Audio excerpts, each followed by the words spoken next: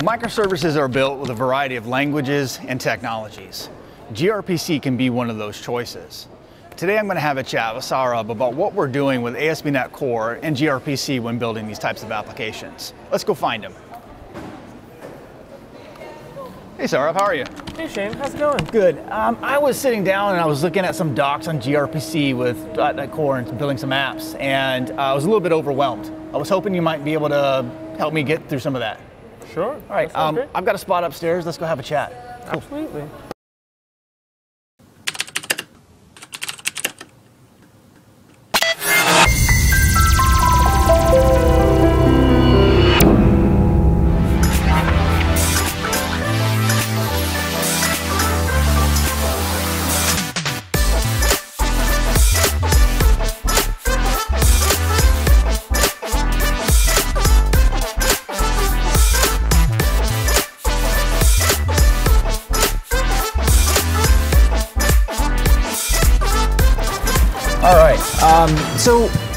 Does where does gRPC come from, right?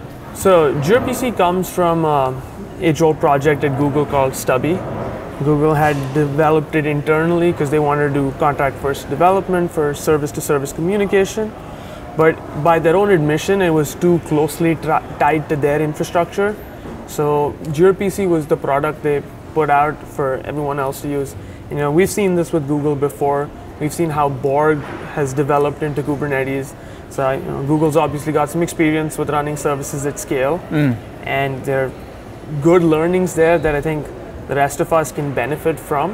And you know, in similar vein, gRPC comes from the Stubby project, but now has been made available for everyone to use, and it's gained you know momentum in the community. Google tooled it for the languages that they used internally, but now it's um, now it's actually incubated as part of the Cloud Native Computing Foundation. So that's a part of the Linux Foundation. And as part of that, it's an open governance model like the rest of Linux. And uh, in addition to the original languages that it was tooled in, now the community's added support for multiple languages. Okay, so we've got C Sharp and Java and Go and Swift for iOS and Android, okay. a bunch of stuff. Awesome.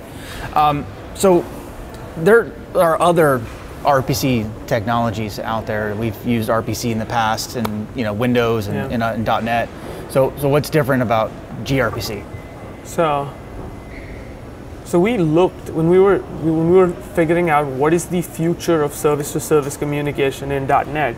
We looked at a bunch of options out there. We looked at Apache Thrift. We looked at Bond, which was made by a couple folks at Microsoft and Bing. And obviously, we had WCF that we've used in the past. Uh, beyond technical merits too, there was the momentum of the community behind it. Like we know modern like cloud native developers are polyglots. You probably have Go services and Java services and .NET services. So going behind the project that had the most momentum and was the best tooled and supported made the most sense. Sure. So when you're talking about services to services communication, so if I think if I go back to maybe some of my uh, maybe early applications, I was probably just kind of maybe three tier where I'm, you know, web application, maybe a SQL server, and maybe an API server all involved there. If I'm growing up from that, I might have some multiple services in the back. But now talking cloud native apps, I've got a number of services that are sitting in a cluster in a, Kubernetes cluster. Those services are talking to each other through service discovery. Uh, I'm, I'm, maybe talking out to something like Redis or, con- or configuration service to get my settings. Uh, is that the proper place to put something like gRPC?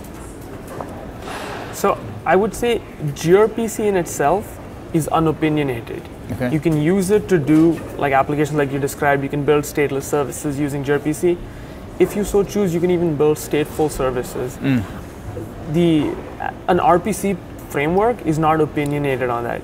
Now, for modern like application architectures, that sounds like a great idea. Okay. This is a great use for gRPC.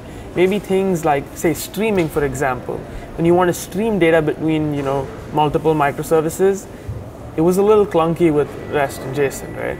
So gRPC makes some of those things more natural and easier to do. Mm. So we say uh, natural, I think that um, if I'm writing a standard, you know, JSON over HTTP service or a REST service, uh, I probably have to spend a lot of time implementing things like logging and, and uh, error handling and things like that. Does, does gRPC help me help me get past some of those extra work? Is there things that are built in automatically uh, as a part of the, the, the, So- project? So it, it is unopinionated, but when we talk about gRPC, we talk about the ecosystem of tools and stuff that has developed around it. So one of the things built into the framework is uh, support for deadlines and cancellations. So this is actually a common pattern we see in microservices where you have a, a causal chain. So service A will call service B, which will maybe call service C and call service D. And you usually have this thing where if something in between fails, it can retry, and that could take down your system. So having deadlines built in into the framework is one of the features that gRPC has, and it also has support for tracing built in. So we're actually working um, on a open trace implementation, and our gRPC implementation will actually have distributed tracing built in the box. Okay. Um, I want to go back to a, a key word you said earlier, and you said about contract-based development. Now, uh, if I go back kind of in my roots a little bit, I was really big into WCF uh, development, and that was one of the things that I think I enjoyed being able to just kind of right-click, add that service reference, and being able to say, I know what my types look like, I know what my contract looks like. Uh, are you say we're getting kind of behind this service because the community really enjoys it and, and there's a lot of kind of momentum behind it. Is this some of the, the things that gRPC gives us uh, in the tooling that we're kind of putting into the project? Is that where we, is, what, is that the advantages and the things that we're putting into gRPC? Is that type of development in our tooling? So yes, so let's so some some context. gRPC is agnostic of the serialization deserialization format used, but the the de facto winner that we see today is protobuf. So, in the purpose of answering this question, I'm just going to say gRPC with protobuf. right? Okay, fair. So you know there is tooling in the protobuf ecosystem to gen like to generate types because it is binary serialized and you need your uh, serializers and deserializers, which we have tooling to generate. And then you also have the gRPC side of it, which is generating service stubs and strongly typed clients that you can use. And so some of that tooling existed uh, for for some languages. There, there are obviously some languages that say aren't strongly typed, like dynamically typed languages, Sure. where you may not want to do build time generation, you want to do runtime, right? But in the .NET side of things, there is build time generation of your types, and we are adding more features to say light up design time build in Visual Studio. So now you have an extremely productive inner loop experience where you go modify your proto file, and now you go back into your service implementation and you do add override, and you have your method right there. Mm. So we're getting some of the great things that we kind of enjoy as .NET developers. We're getting some IntelliSense, probably some IntelliCode coming soon, uh, potentially. Uh, but it feels natural to us uh, as Yeah. the, the kind of the .NET ecosystem inner tooling that we're used to seeing. Um, what are some of the things that we're doing in the project to kind of move the microservice development uh, with .NET Core? We've got .NET Core 3 now out. Um, are there advantages? Do we have middleware? Is it as easy to add into a project? Can I just do like .add RPC or gRPC to my project? Is that simple? So we have some uh, like inner loop features that are shipping. We're shipping new templates that will ship as part of the .NET SDK. We've added support for what we call service references in Visual Studio and via the command line. So if you're used to it as a WCF developer, where you can point at um, it was either a WSDL endpoint or in, in the gRPC case, you can point at a proto file either locally on disk, so which could be your server project, Right. or it could be from some URL.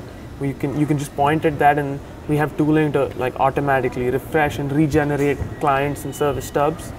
Um, so that, that's what we have thus far, and we're looking at you know more investments going forward. Cool.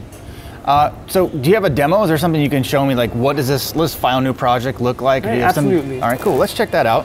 So we're going to jump in see a demo real quick here. Um, I'm curious. Uh, how, you were talking about contracts, and I'm, you said the proto file is kind of where we're going to start with this. So Right. let's let's check that out first. So I have a very simple example here. Okay. So this is my proto file. Mm-hmm. You know, just I have the proto version specified here, and I have two things of interest. All right. I have the service def- definition. So I have the greeter service, and right now it implements one RPC method, and you can see that this is the request message type, and this is the response message type. gRPC also has streaming RPCs, so you know I could have potentially had a stream of requests. Sure. But let's stick to a simple unary request response here, right? Fair. Uh, and then along with the service definition, I have my message definitions. So I have a hello request, which just takes a name, and I have a hello reply, which will just say hello my name and send it back. So this is my simple service. Okay, that's fair. So what I'm going to do now is I'm going to jump over into my code, and I'm actually going to show you where it's uh, wired up. Okay. Alright, so, so like I said, we're working to make it a productive experience. So all the common cross-cutting concerns that we've solved in ASP.NET, so DI logging, configuration, all those like all that goodness can still be reused, even though this is a different uh, app model. All right. So I don't have to work any harder in order to use this. This this should feel like It should feel very natural, Natural, if you're yeah. an ASP.NET developer. right. Right. So, uh, so the thing of interest to show here is this is my startup.cs, Okay. and in my configure method, this is you know where I set up endpoint routing. I have this map gRPC call, Oh, great. and I actually map to a concrete implementation of this service. So this would be very similar if I was setting up uh, just like uh, an API endpoint if I was using Web API. Okay, cool. So if you and if you were doing SignalR, it works the same way, right? It's endpoints map SignalR hub. Oh, okay, it great. looks very similar. Yeah. So I think the next thing we should do is look at actually the implementation of this service, right? Yeah. And this is the server side because my Yes. understanding is we need a server and a client for gRPC, right? That is correct. Okay. So this should look very similar if you've done ASP.NET. You know, this is a scoped service created when every when your request comes in. We have constructor injection through which you can resolve the logger, mm-hmm. things like that. And then what you have to do is you have to override the the default implementation of this method. Right? Sure. So here, all I do for say hello is I get a hello request. That's my request message, and I just crack it open and I reply with a message that says hello and the request that I received. So this does feel very natural. I think that uh, sometimes when we see a new technology or like the new player on the block, we think, oh, I've got to learn something completely new. Um, and I think that just with what I've seen here, I go, I don't feel like there's a huge barrier to entry for me. I can just jump in and do this. And it's just really just like implementing a whole other interface and I can uh, get moving Right. on it, right? Yeah, and just if I were to be pedantic, you said interface, but the way this is actually implemented under the covers is the generated service stub Right. is uh, abstract X class that we need to implement. Sure. So we can actually jump into the generated code. So if I go here, so I've already built this project. If you're in Visual Studio, you get design time build. So if I go to my obj folder, you can see here I have two files of interest. I have the greet.cs, which is all the generated message types. So let's look at that one first, Sure. right? Uh, and in my generated message types, you can see I have my hello request message, and I have my hello reply message should be somewhere here. Uh, If I keep going. There you go. And here's Sure. my hello reply message, right? So, this is the contract then that, that it gets generated, right? Right. So th- these are th- these are proper C sharp types that you can Sure. use.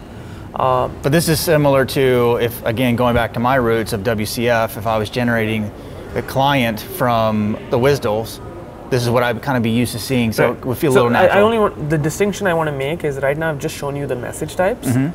which protobuf can be used independent of gRPC. okay. You could use protobuf in your web APIs as well, Okay, like, great. as an example. Yeah. And the the part that you were speaking about, like, which is that's in this file. This is the greet gRPC file.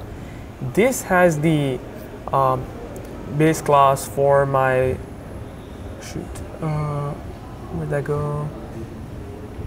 There you go. So this is my gRPC. This is my say hello method, Okay. and you can see it's a virtual method, so Mhm. I can actually override it in my implementation. Nice. So what does this look like running? I'm assuming that we've got to fire up a client, we've got to fire up a server So to do all the work. So let's take a quick look at what this client code looks like as well. okay. Right. So on the client side, let me go back here. So we were looking at the server project. I have the client project here as well. So it's very simple. So I have a gRPC channel. So this is a static helper method that helps me generate a gRPC channel. And this is the address that my server is listening on. And once I have a channel, which uh, I can use that to new up a client, and all your methods that you expect just hang off the client itself. Oh, okay. So I'm able to just call client.helloasync, and the way this works is it uses the same similar code generation. So if I look in my obj folder, there's a generated client in here as well. So this is on the client side. Great. Should be here, yeah. Perfect. So I can jump over and show you this actually running. So I have a TMUX session here. I have my server on the left, and I'm going to run my client on the right. Great. And actually run it. It looks very similar to ASP.NET because it does use ASP.NET. So I have my server up and running. It's listing on port 5050 in this case, and I had showed you in the client configuration code. Mm-hmm. So now if I go ahead and run this, just gonna da- run, and you can see the logs for this request. Sure. And that's my simple unary RPC call. Now obviously I can expand it. I can do both unidirectional client streaming or server streaming, or like full duplex bidirectional streaming. Sure. So this this seems really simple. Um, like you showed, it, it's very uh, natural to any ASP.NET developer. Uh, it's got our logging, it's got our uh, dependency injection, uh, and it, it's not a, a scary thing to jump into, right? So perfect. And I just want to add to that, we've actually tried to keep it natural both for ASP.NET developers, and if you were an existing gRPC developer, especially if you use the existing .NET implementation of gRPC, we've managed to keep API compatibility so you can migrate your services and then you get the extra goodness of ASP.NET. Cool. All right. So what's next? Kind of where where are we now? Uh, you mentioned we've got templates, um, Visual Studio, and and also in the CLI, the .NET CLI. Kind of where are we going? Kind of what's the goal of us with the, with the project? So, like as as with the rest of ASP.NET Core, one of our goals has always been performance. So we're looking at performance all around. That includes improving the server performance. Uh, that would be the HTTP, HTTP, HTTP2 performance in Kestrel. Sure. The HTTP2 performance in HTTP client, as well as the serializer deserializer work, uh, performance work. If you're familiar with some of the JSON work that we've done in the 3.0 release, where we've tried to make non-allocating deserializer, we're trying to do something similar in the protobuf space as well, or at least reduce the impact of allocations and then ergo the impact on throughput caused by that. Um, in addition to that, we're looking at new transports. Not all RPC communication is off box. You might want to call another service on the same machine. So we're looking at you know Unix domain sockets, Windows named pipes. We're also looking at future transports. You know, uh, if you're familiar with HTTP3, it actually uses QUIC and not TCP Right. as the underlying transport. So we're looking at investments in future transports and in addition to all the perf work and you know standards compliance, like future looking stuff, we we're always looking to improve developer productivity. So inner loop improvements, improvements to code generation, and you know other things that we can do to make your inner loop experience more productive. Um, are there any rough edges when it comes to uh, developer experience or, or publishing this that, uh, to you know my production uh, servers? Is there anything that I need to be kind of aware that okay now I've got it I've got it running on my dev box or my, my local machine? Uh, is there some things that I just need to kind of be aware of? Are there ports? Are there you know, So- things like that we need to worry about? So one of the challenges that we've seen a couple of folks run into with gRPC is that it uses HTTP2 today. Right. and a lot of servers have not implemented a full fidelity HTTP2 implementation. Okay.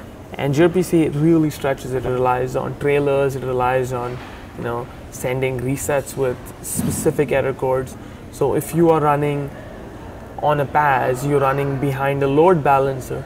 If you're doing any sort of HTTP ingress or egress, you might want to make sure that those HTTP servers or clients actually support the entire uh, requirements of gRPC. Okay, so reach out to whoever your Yeah. host is or your, your IT uh, team and make sure that we've got that kind of all the way through um, as a requirement. Awesome. Uh, any final words on, on the actual project and kind of what are you hopeful for and what you're doing going forward? So, so one of the things I don't think we got a chance to focus on much is this is a project that we're doing that we're donating our code and our time to the Cloud Native Computing Foundation, which is a part of the Linux Foundation. Mm. So what we're trying to do is we're trying to grow the community, and we're seeing great success working with Google, working with other contributors from the CNCF, and we're really buoyed by it. And you know, across we want to take these learnings and use it across all other cloud native efforts that we have. We really want to grow the ecosystem of stuff because working with other people, we've been able to accomplish a lot more than we would have done by ourselves. Sure, and that's that's the point of us getting not only uh, .NET in, in the open source, but it's also us contributing to other projects in this in this space. Um, so we actually build greater things, you know, by, by more hands being into it, right? And we learn from others' mistakes. Yeah, and we learn from our own. awesome. I appreciate you taking the time, and learning more about gRPC. I know that uh, I'm less frightened by jumping into something new like this, uh, and, I, and I hope our, our community is, is doing the same. So I look forward to seeing where we're going with the project. So that was another episode of the Cloud Native Show on building apps with gRPC. Be sure to tune in next time on aka.ms slash cloud native show. Thank you.